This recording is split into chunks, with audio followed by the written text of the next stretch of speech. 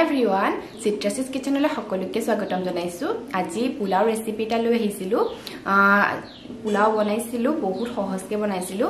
কাৰণ এতিয়া সকলোৰে ঘৰত লিমিটেড ইনগ্ৰিডিয়েণ্টছ আছে আৰু সেই বস্তুখিনিৰ পৰাই আমি এইকেইদিন বনাই মেলি খাই থাকিবলগীয়া হৈছে। কিন্তু সদায় যদি একেধৰণে খাই আপোনালোকৰ আমনি লাগিছে এই পোলাও ৰেচিপিটো ট্ৰাই কৰিব পাৰে আৰু একেবাৰে সহজ পদ্ধতিত বনাই দেখাইছোঁ। ঘৰত যদি ল'ৰা ছোৱালী থাকে এইকেইদিন কিবা এটা বেলেগ খাবলৈ লাগে বুলি আমনি কৰে এই ধৰণে বনাই খাব পাৰে। আপোনালোকে এনেও খাব পাৰে ভাল হৈছিলে খাবলৈ। তেতিয়াহ'লে দেৰি নকৰি ৰেচিপিটোলৈ আগবাঢ়োঁ ব'লক। ইয়াৰ কাৰণে মই এই গিলাচটো জোখাৰে দুকাপ চাউল লৈছোঁ আৰু চাউলখিনি ভালদৰে ধুই লৈছোঁ। তাৰপাছত অলপমান পানী দি পোন্ধৰ মিনিটৰ কাৰণে তিয়াই থ'ম। এই ধৰণে চাউলখিনি তিয়াই থ'লে পোলাওখিনি এটা এটাকৈ জৰজৰীয়া হয় চাউলখিনি কিন্তু পোন্ধৰ মিনিটতকৈ বেছি সময় তিয়াব নালাগে। তাৰপাছত কুকাৰ এটাত মই দুই তিনি চামুচমানৰ সময় ৰিফাইন তেল গৰম কৰিছোঁ। একেবাৰে কম তেল ইউজ কৰিছোঁ। যদি আপোনালোকে বিচাৰে গোটেই পোলাওখিনি ঘিউতে বনাব পাৰে। ঘিউ আৰু তেল দুইটা মিক্স কৰি বনাইছোঁ। তাৰপাছত সৰু চামুচেৰে এচামুচ ঘিউ দিছোঁ। ঘিউৱে পোলাওৰ মেইন টেষ্টটো আনে। মানে পোলাওৰ যিটো ধুনীয়া গোন্ধ সেইটো ঘিউ দিলেহে আহে। যদি ঘৰত ঘিউ নাথাকে অকল তেলতে বনাব পাৰিব। এতিয়া গোটেইখিনি গৰম হ'লত মই সৰু চামুচেৰে আধা চামুচ গোটা জিৰা দিছোঁ দুটা শুকান জলকীয়া দিছোঁ গেছটো কিন্তু একেবাৰে কমাই থৈছোঁ চাৰি পাঁচটা ইলাচি দিছোঁ অকণমান ডালচেনি দিছোঁ আৰু আকৌ চাৰি পাঁচটা লং দিছোঁ। ইয়াৰ যদি কিবা গৰম মছলা আপোনালোকৰ ওচৰত নাথাকে সেইকেইটা নিদিলেও হ'ব ঘৰত থকা ইনগ্ৰিডিয়েণ্টছবোৰে বনাই খাব পাৰিব। এতিয়া এটা পিঁয়াজ সৰু সৰুকৈ কাটি দিছোঁ আৰু ভাজি ল'ম অকণমান কালাৰটো চেঞ্জ হোৱালৈকে। গেছটো মিডিয়াম কৰি থৈছোঁ এতিয়া।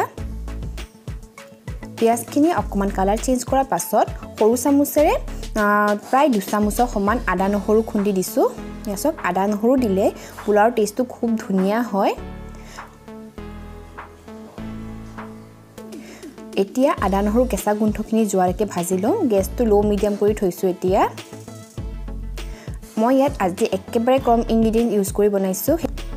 আৰু পোলাওৰ কাৰণে মই বাচমতি চাউল ইউজ কৰিছোঁ। আপোনালোকে ঘৰত থকা সকলো ধৰণৰ চাউলেই ইউজ কৰিব পাৰিব। আৰু এটা গাজৰ মই এই ধৰণে টুকুৰা টুকুৰ কাটি লৈছোঁ আৰু আলু এটা কাটি লৈছোঁ। যদি গাজৰ নাথাকে অকল আলু দিও বনাব পাৰিব। এতিয়া পাচলিখিনি মিডিয়াম ফ্লেমত এক মিনিটৰ কাৰণে ভাজি ল'ম। বেছি সিজালৈকে ভাজিব নালাগে। এক মিনিটৰ কাৰণে ভাজিম যাতে পাচলিখিনি ঘিউত ধুনীয়াকৈ অকণমান ভাজ খাই এটা ধুনীয়া গোন্ধ আহে তেতিয়া। পাচলিখিনি এক মিনিট ভজাৰ পাছত চাউলখিনি দি দিছোঁ। চাউলখিনি পোন্ধৰ মিনিট হোৱাৰ পাছত মই টুকি থৈছোঁ। বেছি সময় যদি তিয়াই থয় চাউলখিনি ভাগি যাব। সেইকাৰণে পোন্ধৰ মিনিটতকৈ বেছি চাউল নিতিয়াব। চাউলখিনি দিয়াৰ পাছত সাৱধানে গোটেইখিনি লৰাইছোঁ। চাউল দিয়াৰ পাছত সাৱধানে লৰাব নহ'লে চাউলখিনি ভাগি যোৱা চান্স থাকে। এই ধৰণে লাহে লাহে লৰাই দিব। এই ধৰণে একৰ পৰা ডেৰ মিনিটৰ কাৰণে ভাজি ল'লেই হয় মিডিয়াম ফ্লেমত। মই আজি ইয়াত ড্ৰাই ফ্ৰুটছ দিয়া নাই। যদি আপোনালোকে ড্ৰাই ফ্ৰুটছ দিয়ে তেতিয়া তেলতে অকণমান ফ্ৰাই কৰি ল'ব তেতিয়া টেষ্টটো বেছি ভাল আহে বা এনেও দিব পাৰে। চাউলখিনি এক মিনিটমান ফ্ৰাই কৰাৰ পাছত এতিয়া পানী দিম।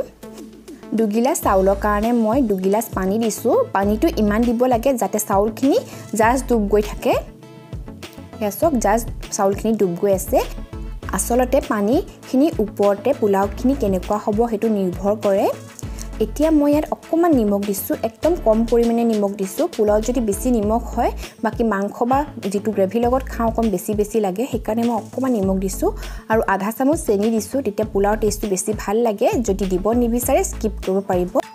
এতিয়া দুটা কেঁচা জলকীয়া দিছোঁ এতিয়া জ্বলাৰ কাৰণে নহয় ফ্লেভাৰৰ কাৰণে দিছোঁ সেইকাৰণে মই গোটা গুটিকৈ দিছোঁ। কেঁচা জলকীয়াৰ খুব ধুনীয়া গোন্ধ এটা আছে যিটো পোলাও দিলে খুব ভাল লাগে। আৰু চাউলখিনি মন কৰকচোন একেবাৰে জাষ্ট ডুব গৈ আছে। ইমান জোখতহে পানী দিব ইয়াতকৈ কিন্তু বেছি পানী নিদিব। ইয়াতকৈ যদি বেছি পানী হৈ যায় পোলাওবোৰ এটাৰ লগত ইটো লাগ খাই যায় আৰু খাই বেছি ভাল নালাগে। আৰু বেছি কম পানীও নিদিব বেছি কম পানী দিলে পোলাওখিনি নিসিজে। এতিয়া হাই ফ্লেমত এটা চিটি মাৰিব দিম। এইটো চিটি মাৰিলে আৰু লগালগ গেছটো অফ কৰি দিছোঁ আৰু পোলাওখিনি ঠাণ্ডা হ'ব দিম। কুকাৰৰ পৰা প্ৰেছাৰ যোৱাৰ পাছত পাঁচ মিনিট ৱেইট কৰিব লাগে তেতিয়া চাউলখিনি ছেটেল হৈ যায়। এয়া পাঁচ মিনিট মই ৰোৱাৰ পাছত চাউলখিনি দেখাইছোঁ। এয়া চাওক পোলাওখিনি একেবাৰে জৰজৰীয়া হৈছে আৰু খুব ধুনীয়াকৈ সিজিছে। এইটো পদ্ধতিত পোলাও বনালে বহুত সহজকৈ বনাব পাৰি কিন্তু খাবলৈ যে বহুত ভাল হয়। আৰু আলুখিনিও চাওক মই দেখাই দিছোঁ। ধুনীয়াকৈ সিজিছে। এই ৰেচিপিটো আচলতে মই ব্লগত দিম বুলি বনাইছিলোঁ যে সেইকাৰণে ইমান ডিটেইলছকৈ দেখাব নোৱাৰিলোঁ। এয়া চাওক পোলাওখিনি একেবাৰে এটা এটা হৈছে। খাবলৈ কিন্তু বিৰাট ভাল হৈছে। ট্ৰাই কৰি চাব এবাৰ মাছ ট্ৰাই ৰেচিপি হয়। একেবাৰে কম ইনগ্ৰিডিয়েণ্টছ দি এইকেইদিনত বনাই খাব পাৰে ল'ৰা ছোৱালীকো খুৱাব পাৰে। এই পোলাওখিনি মই যোৱাবাৰৰ আগৰ ব্লগটোত শ্বেয়াৰ কৰিছিলোঁ। কিন্তু ব্লগটো বহুত দীঘল হৈ যোৱাৰ কাৰণে মই পোলাও ৰেচিপিটো দিয়া নাছিলোঁ। আৰু সেইকাৰণে ভালকৈ ফটো এখনো নামাৰিলোঁ মই। কিন্তু পোলাওখিনি একেবাৰে জৰজৰীয়া হৈছে। এয়া চাওক একেবাৰে এটা এটা হৈছে চাউলখিনি। আজি ৰেচিপিটো ট্ৰাই কৰি চাবচোন বহুত ভাল হৈছিলে। একেবাৰে বাহিৰত পোৱা নিচিনাই হৈছিলে এটা এটা হৈছিলে পোলাওখিনি। যদি ৰেচিপিটো ভাল লাগিলে ভিডিঅ'টো লাইক কৰিব শ্বেয়াৰ কৰিব লগতে মোৰ চেনেলটো ছাবস্ক্ৰাইব কৰি দিব তেতিয়াহ'লে আজিলৈ আহোঁ পুনৰবাৰ লগ ক'ম আকৌ এটা নতুন ৰেচিপি বা ব্লগ কোনোবা সৈতে লগ পাম বাৰু। ভিডিঅ'টো চোৱাৰ বাবে বহুত বহুত ধন্যবাদ। Bye bye